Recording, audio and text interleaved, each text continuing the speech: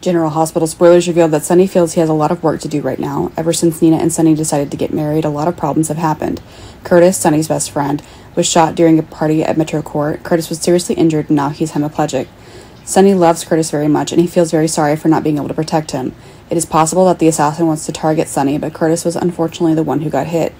Sonny is determined to find the killer to avenge Curtis. He doesn't want to rush to get married. He and Nina are living together anyway. Their wedding could be put on hold until Sonny finds out the killer.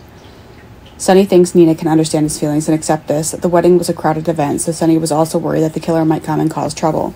However, Nina has a different opinion than Sonny. The important thing is that Nina has been waiting for this wedding for a long time, and she does not want to prolong it. Nina wants to have a wedding with Sonny so that they become a family.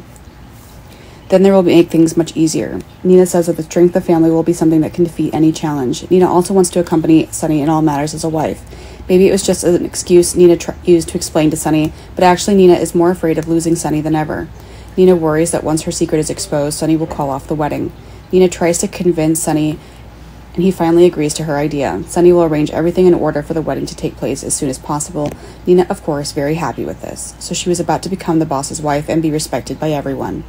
But bad luck for Nina is that there's another event that will change everything. So all of Nina's efforts to convince Sonny to organize an earlier wedding was really ruined.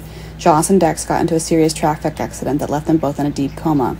Things started to get chaotic. Joss was seriously injured and in critical condition.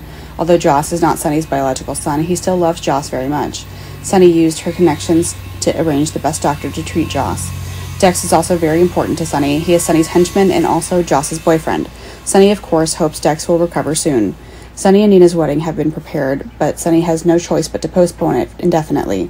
He couldn't promise Nina in advance when he would get married. He had to deal with this mess first.